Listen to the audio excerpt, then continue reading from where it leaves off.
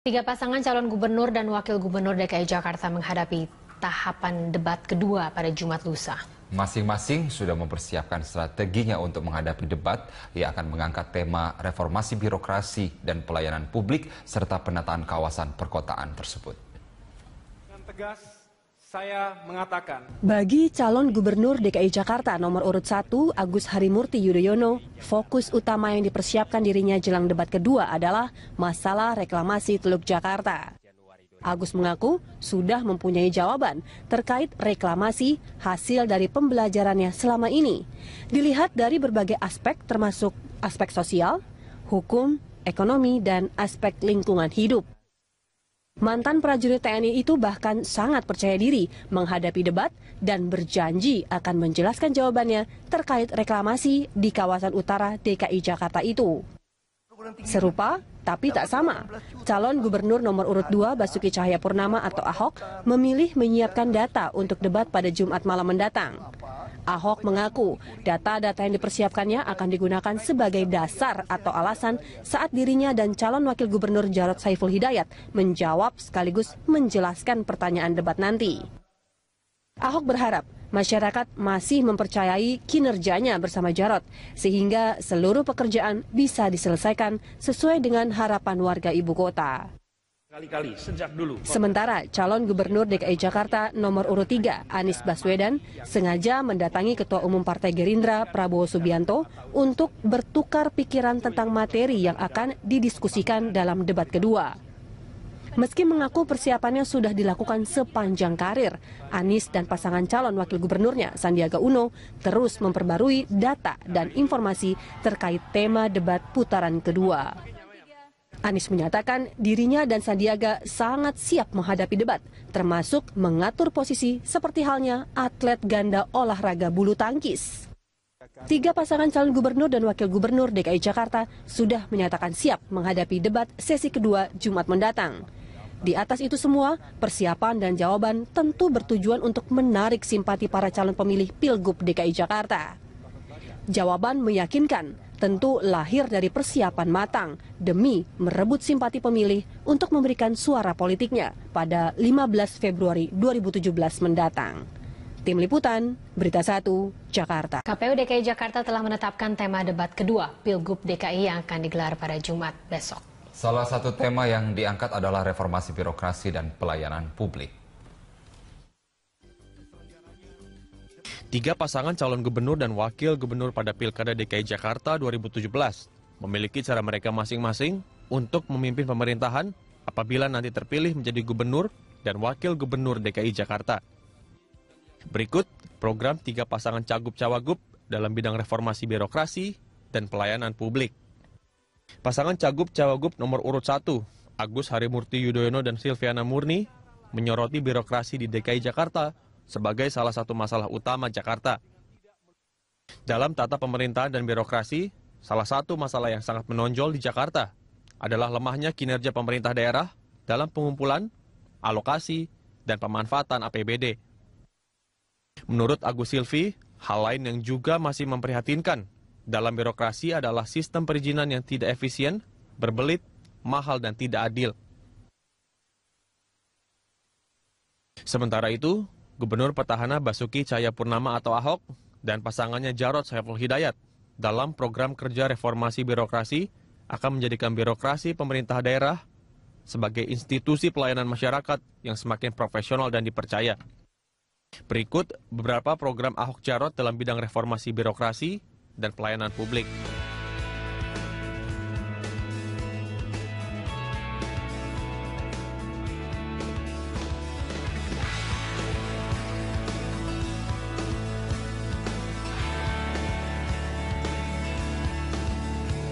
Pasangan Cagup-Cawagup nomor urut 3, Anies Baswedan dan Sandiaga Uno, menjelaskan program untuk memimpin birokrasi dalam pilar 1, pembangunan manusia, dengan menyelenggarakan good governance dengan program sebagai berikut.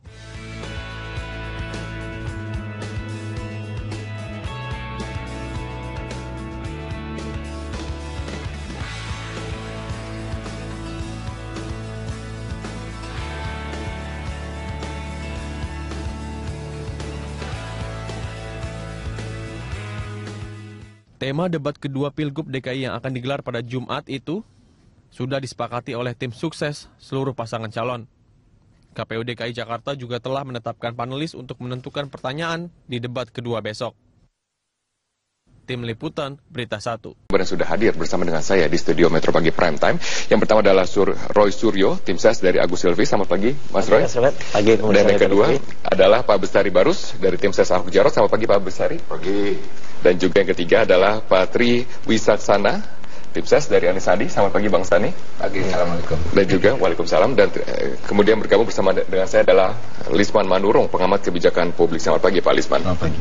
Oke, karena keterbatasan keterbatasan waktu saya akan kemudian menajamkan pada uh-huh. tiga hal utama yang sangat ingin diketahui oleh masyarakat Jakarta. Yang ya. pertama adalah bagaimana rencana penggusuran reklamasi dari Teluk Utara Jakarta dan juga ketiga adalah kultur birokrasi. Pak Bestari, apakah nanti jika kembali terpilih Ahok Jarot akan kembali melakukan penggusuran di masa kepemimpinan mereka? Uh, bukan penggusuran penataan. Dengan cara menggusur tetapi. Boleh juga dikatakan seperti itu supaya menjadi satu kepastian bahwa relokasi itu menjadi satu hal yang harus dilakukan juga dalam rangka penataan kota. Dan itu prinsipnya adalah untuk keadilan. Kenapa keadilan? E, biasanya yang digusur itu adalah ruang hijau ya. Okay. Dan kemudian juga bantaran kali di mana kalau itu dibiarkan kemudian hutang hijau DKI Jakarta yang masih sangat banyak, masih 6.500 hektar, tentu ini akan mengakibatkan ketidakadilan bagi orang-orang yang ada di selingkungan itu okay, baik. yang seharusnya ya. punya hak untuk mendapatkan uh, manfaat dari paru-paru kota. Gitu. Mereka yang tinggal di sana adalah mereka yang melanggar. Tapi bagaimana dengan caranya? Karena berkaca dari pengalaman, karena uh, gugatan dari masyarakat Bukit Duri menang di PT UN dan juga kemudian menang di PN Jakus. Bagaimana dengan cara-cara yang akan dilaksanakan dari Ahok Jarot ke depannya jika memang akan melakukan penggusuran? Ya tentunya kalau dibilang kalah itu kan kita harus lihat dulu kekalahannya di sebelah mana gitu. Kan masih ada upaya hukum berikutnya ya. untuk dilakukan.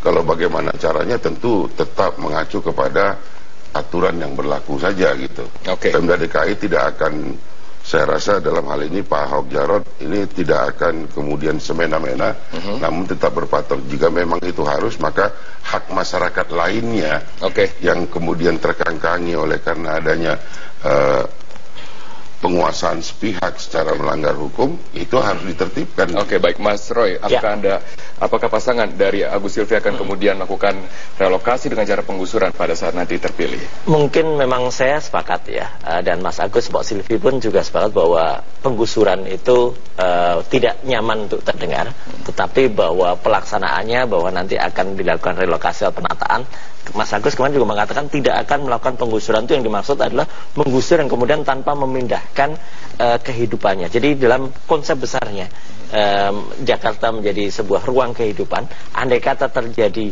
uh, pergeseran, ya pergeseran yang tidak uh, terlalu jauh dari lingkungan aslinya, hmm. itu sekaligus memindahkan kehidupan sosial ekonominya. Berarti ada setuju dengan cara Ahok Jarot? Ada kata uh, tadi? Tidak tidak semuanya bisa di, dikatakan iya. Yang baik tentu saja secara, secara objektif Mas Agus dan Pak Silvi akan mengikuti. Misalnya memang benar-benar melanggar. Mhm. Mereka yang ada di bantaran sungai dan itu uh, misalnya tadinya sungainya itu 12 meter atau 6 meter sekarang jadi 1 meter, uh-huh. tentu harus ada relokasi yang mana tidak kemudian uh, menggusur begitu saja uh, tanpa memindahkan kehidupan ruang uh, ekonomi sosial. Oke, dalam debat ya. pertama ya. um, Pak Silvi uh-huh. itu di Betul. dipanggil, Pak Silvi bingung dengan mengapa warga Bukit Duri menang di pengadilan. Seperti itu ada statement seperti ya, itu itu, itu, itu mempertanyakan uh, kenapa kemudian bisa menang itu kan seolah-olah pertanyaan otokritik mm -hmm. gitu. Uh, jadi jadi jawabannya sudah ada karena karena kemudian begitu saja dipindahkan tanpa memindahkan kehidupannya. Jadi ruang kehidupannya tidak okay. terpindahkan. Oke okay, baik. Itu masalahnya. Bang Sani.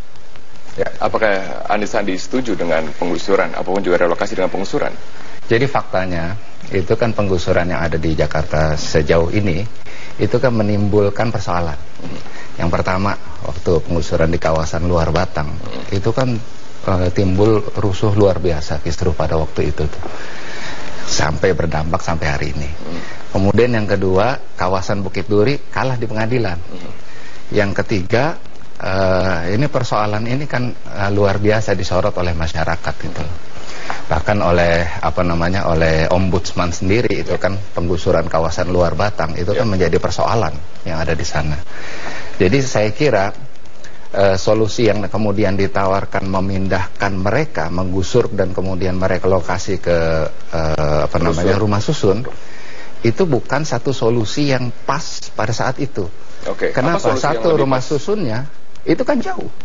Marunda Rawa Bebek dari kawasan luar Batang yang mereka tuh apa namanya e, para nelayan dan lain sebagainya yeah. itu kan malah menimbulkan kantong kemiskinan baru. Oke, berarti apa solusi yang lebih baik mengapa tidak iya, mengapa tidak di, dilakukan apa yang disebut dengan peremajaan? Hmm. Toh kita juga dulu punya apa yang disebut dengan proyek Muhammad Husni Tamrin. Pembaruan kampung. Okay. Jadi penataan dan lain sebagainya sehingga lebih manusiawi dan tidak uh, mengganggu fasilitas publik yang lainnya. Oke, dan tidak contohnya, betul. Uh, contohnya mereka. di tempat yang lain ada Kali Code di Yogyakarta ya. dan di tempat-tempat lain. Oke. Saya kira itu yang perlu dilakukan Majaan. di Jakarta Oke. ke depan. Pak Lisman, mana yang lebih tepat untuk dilakukan oleh Gubernur terpilih Jakarta? Apakah dengan merelokasi ke tempat yang memang sudah disiapkan atau lebih tepat untuk meremajakan dari lokasi yang sudah ada? Ya, uh, ya kita harus lihat uh, konteks masalahnya. 26 persen penduduk Jakarta itu tinggal pada tempat yang tidak semestinya. Apakah itu bukan tanahnya atau bukan tertata dengan baik, itu loh. Jadi pertanyaannya adalah kalau ini dibiarkan mau berapa persen lagi gitu. Dan Jakarta akan berubah menjadi kota-kota yang seperti di Amerika. Oke. Okay. Baik, tapi pendekatannya apakah dengan relokasi atau dengan peremajaan? Nah, soal pendekatan saya kira ya banyak pakarnya. Mereka juga hati-hati kan untuk mendesain itu ya. Ada sosiologi, ya, para pakar itu sudah berusaha sedemikian rupa. Karena kalau kita lihat dampak dari penggusuran selama periode uh, Jokowi, Ahok yeah. dibandingkan dengan yang sebelum-sebelumnya. Yeah dampak positifnya jauh lebih banyak sekarang, ya toh, uh-huh. dibandingkan dengan sebelumnya. Okay. Sebelumnya dampak positifnya nggak ada. Apa indikator ya dari dampak positif yang dikatakan? Yang disebut dengan uh, timbulnya keresahan itu sebenarnya kan mudah terdeteksi apakah akan ada rio kekacauan yeah. di mana-mana. Uh-huh. Tapi kalau kita lihatnya sah-sah aja, karena saya beberapa kali melihat bahwa kawasan-kawasan yang kemudian sudah tertata seperti aliran-aliran sungai itu, yeah. itu tidak hanya membuat mereka lebih nyaman, tetapi membuka peluang kehidupan ekonomi yang baru. Okay. Jadi boleh disaksikan itu. Jalan-jalan itu sudah lancar, dia bisa lebih lebih praktis karena saya kira bantaran kali, saya pernah meneliti ini uh, risiko bantaran kali dan perubahan iklim dan seterusnya uh, tahun 2013. Okay. Tapi sekarang semua case itu sudah hilang, okay, baik. Gak ada lagi yang mau dibahas. Baik, gitu loh. Dampak positif dari relokasi lebih banyak dibanding untuk meremajakan dari lokasi yang sudah ada. Bagaimana dengan temuan ini? Saya sih konkret aja ya, Mas. Ini kan mereka yang udah jelas digusur ini kan pindah.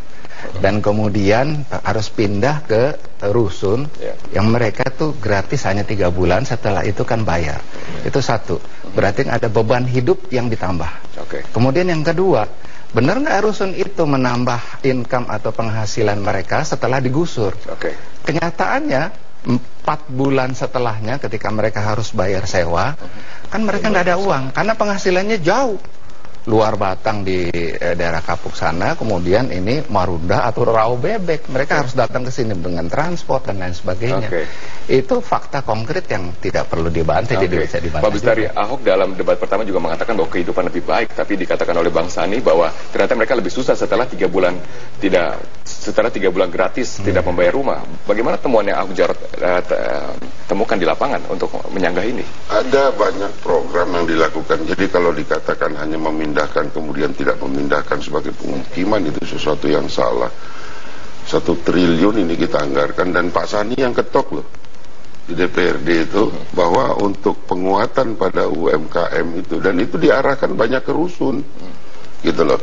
Jadi saya rasa perlu satu hal yang sangat objektif lah pandangan kita bahwa tentu ada hal-hal lain yang mungkin tidak dapat terpenuhi secara seketika gitu. Uh-huh. Tetapi saya yakinkan bahwa paslon kami ini konsisten dengan hati tulus itu uh-huh. pasti akan memberikan solusi yang terbaik. Oke. Okay. Cuman per perlu ada tahapan-tahapan untuk itu. Oke. Okay.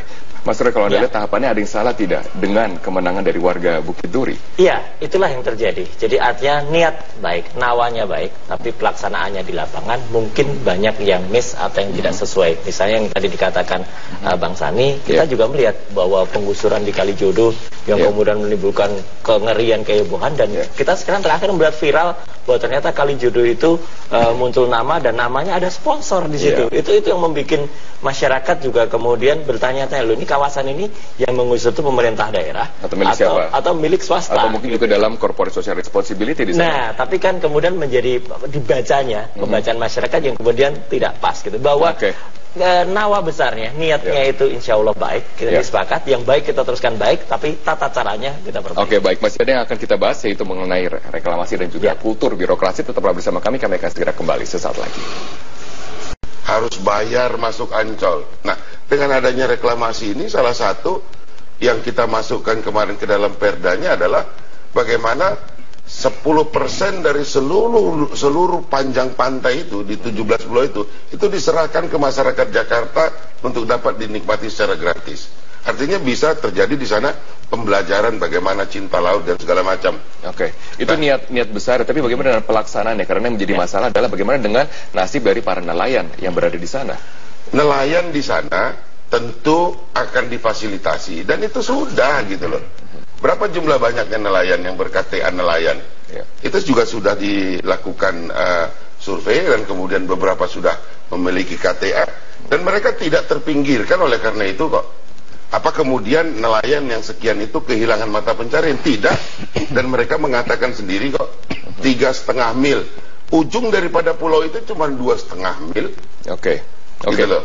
oke, Bang Sani, um, Mas Anies katakan dengan tegas menolak reklamasi. Iya. Apa basis dari penolakan tersebut? Asasnya keadilan sosial. Kenapa? Karena pertanyaan mendasar dari pembangunan reklamasi itu adalah reklamasi itu untuk siapa?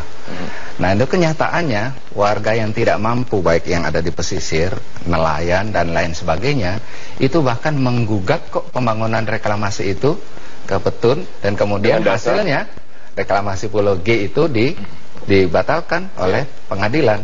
Nah, itu kan nelayan, udah jelas nelayan merasa dirugikan. Apa yang paling kehilangan dari mereka? Mata pencaharian kah? Atau lapangan uh, pekerjaan kah? Atau tempat tinggal? yang jelas terancam potensi mata pencaharian mereka, makanya mereka menggugat. Nah, itulah yang didengar oleh Mas Anies Bang Sandi ketika berkunjung ke Kampung Akuarium, Kampung Nelayan dan lain Dikatakan Pak Bestari, sebagainya. mereka tidak kehilangan mata pencaharian mereka. Kenyataannya mereka menggugat dan pengadilan memenangkan Apakah yang mereka. gugat sebagian kecil atau sebagian besar dari nelayan yang menang? Ya pengadilan itu kan yang menilai, Mungkin pengadilan yang materi menilai. gugatannya yang harus dilihat mereka menggugat apanya gitu loh. Yang kedua AMDA. AMDA juga toh belum selesai. Ya. Ada satu moratorium penghentian reklamasi ini sampai seluruh aspek legalnya itu selesai. Baik AMDAL dan juga yang lainnya. Berarti Kementerian akan. Kementerian Kelautan akan Akan dilaksanakan. karena uh, Menko. Kemaritiman juga sudah melak- uh, menyatakan akan mel- melanjutkan Ya. proyek reklamasi. Ya, Ya, Kementerian. Kelautan Ya. seperti apa sikapnya? Itu kan ini aspek keadilan sosial ini sementara di wilayah daruta- da- daratan ada yang digusur, Ya. kemudian di sini dibangun. Kalau gitu- Dibangunnya untuk siapa? Kalau itu bagaimana Apakah cara Anies rakyat untuk kecil melaksanakan ini proyek ini pada saat nanti terpilih? Karena ini adalah proyek dari um, yang, yang besar NCIC, bukan hanya proyek dari uh, Kalau NCIC kita setuju, Great Wall itu kita setuju. Tapi reklamasi kalau dibangun, ini dengan AMDAL yang apa segala macam ini selesai untuk masyarakat eh, bawah, menengah bawah, itu mungkin pandangannya bisa berbeda. Berarti Anda katakan jika terpilih nanti untuk pasti apa? akan menghentikan proyek reklamasi. Jadi Iya. gini, Great Wall itu adanya. Jadi kalau saya- saya gambarkan ah begini, ini Great Ya. Wall. Ya. Reklamasi itu ada di dalamnya. Jadi saya agak bingung juga kalau dibilang Great Wall-nya oke, Ya. tapi yang dalamnya nggak boleh. Karena kalau begitu dia jadi Great Wall, maka ini akan menjadi tampungan besar untuk air tawar penyangga Jakarta. Oke. Tetapi kalau kemudian ini disetujui oleh Pak Sani dan Pak uh, Anies Sandi, Hmm. Kalau dalamnya enggak, ini agak membingungkan buat saya dan nelayan itu akan akan pindah ke depan. Oke. Gitu. Jadi sebetulnya kalau dimulai saja dengan di sini, Iya. nah ini kemudian seluruh coastal ini ini akan punya pengurus gitu Oke. loh. Diurusi, kemudian sedimentasi diangkat dan sebagainya. Oke. Ada sanggahan Bang Gitu Sani loh. untuk ini? Ya udah jelas lah kalau dalam konteks ini mengantisipasi banjir, ini kan aliran sungai ini harusnya selain itu menambah, menambah volume air tanah, Ya. ini kan normalisasi. Oke. Begitu sampai di Teluk Jakarta dihambat Jadi oleh jika Anda mau menghentikan reklamasi. depok reklamasi, apa solusinya bagi masyarakat yang sudah terlanjur direlokasi? ya penataan urban renewal peremajaan. Oke. Seperti yang kampung MHP tadi, Kalijodo tadi Peremajaan dan lain di mana pun, sebagainya. lokasi-lokasi Ingat yang- loh dalam debat pertama itu Mas Anies sempat bertanya kan, dulu yang namanya konsep kampung deret Hmm. pernah ada di Potogogan dan seterusnya. Kenapa sekarang nggak ada? Oke. Dulu pernah ada kontrak politik, kenapa sekarang nggak dilanjutkan? Oke. Kenapa sekarang penggusuran Oke. bukan kampung deret? Oke baik, Mas Roy bagaimana cara dari Agus Silvi? Ya, insya Allah Mas Agus juga sudah menyatakan kalau nanti ada pertanyaan besok soal reklamasi, tentu jawabannya akan merupakan jawaban yang sangat komprehensif ya. Jadi jawaban mulai dari ekonomi, sosial dan lain. Yang jelas adalah sebagaimana pernah disampaikan Pak Silvi beberapa waktu sebelumnya dalam sebuah diskusi bahwa ini harus melibatkan partisipasi dari stakeholdernya. Stakeholdernya siapa? Yang paling utama adalah nelayan. Ya. Jadi nelayan dilibatkan. Apa yang dikatakan Mas Bestari eh, kemudian dengan mengambil konsepnya Pak eh, Ahok dan Pak Jarod itu, itu reklamasi itu terus terang saja itu eh, konsepnya sudah lama sekali. Bahkan Ancol pun juga hasil reklamasi. Oke. Tetapi pelaksanaannya yang kemudian nanti harus benar-benar eh, digunakan untuk kepentingan nelayan, Oke. bukan untuk kepentingan dipasarkan sampai ke Tiongkok. Nah, Oke. persoalannya seperti itu. Oke, itu baik. yang yang, Sudah yang menyebut paling Tiongkok. clear. Iya, Oke. memang faktanya begitu. Oke baik, Pak Lisman, apakah reklamasi ini perlu dilanjutkan atau tidak dilanjutkan demi kemaslahatan warga Jakarta? Ya. Eh, saya kira untuk semua paslon perlu diperhatikan bahwa reklamasi itu udah keniscayaan dalam rangka eh, mitigasi dan adaptasi perubahan iklim. Ini sudah menjadi ayat-ayat kota-kota lebih dunia. Oh, Oke baik, lebih besar manfaatnya atau mudarat ya dengan kondisi sekarang di mana masyarakat banyak yang kehilangan em, tempat tinggal dan juga lapangan pekerjaan. Ya kalau sudah bicara soal cuaca ekstrim yang melanda semua kota-kota di dunia, reklamasi dan segala tindakan untuk melakukan eh, mitigasi dan adaptasi perubahan iklim sudah menjadi sesuatu yang Keniscayaan mutlak. yang dibutuhkan. Dan isu ini saya kira tidak kurang kurang diperhatikan oleh masing-masing paslon. Kita kita agak anu, cuman lihat kalau sudah terjadi, waduh, ini karena Isu apa cuaca buruk? Ya, Cuaca ekstrim. climate ekstri- eh, eh, eks- eh, cuaca buruk yang sangat maksud saya persisnya gini. Para eh, sem- semua calon kurang memperhatikan isu perubahan iklim gitu Oke. loh. Padahal ini sudah menjadi isu global untuk coastal city udah udah dianggap bahkan reklamasi menjadi salah satu solusi yang diterima Oke. walaupun walaupun tidak populer. Ya, Tapi daripada tenggelam kan lebih baik. lebih baik. Oke tidak baik, oke baik, oke kita beralih ke kultur birokrasi. Mbak Pak Lisman, apakah anda melihat bahwa kultur birokrasi di bawah Ahok Jarot merupakan kultur birokrasi yang menakutkan karena se- em, selama Ahok menjabat sebagai gubernur DKI Jakarta sudah banyak sekali rotasi dilakukan, ada perampingan struktur dan kemudian diangkat kembali pejabat-pejabat yang kemudian distafkan oleh pe- pelaksana tugas sementara. Jadi apakah anda melihat bahwa kultur ini tepat untuk dilanjutkan? Eh, saya kira yang pertama, a- apa yang terjadi dalam eh, perubahan-perubahan dalam birokrasi yang dilakukan oleh eh, eh, gubernur lama ya. Ya. Ini sudah eh, satu fenomena yang ditonton oleh seluruh kota-kota di Indonesia. Bisa nggak dia lakukan gitu? Dan banyak yang melakukan, mencoba, tapi tidak semudah yang dibayangkan. Kan? Oke. Jadi apa ini yang- baru.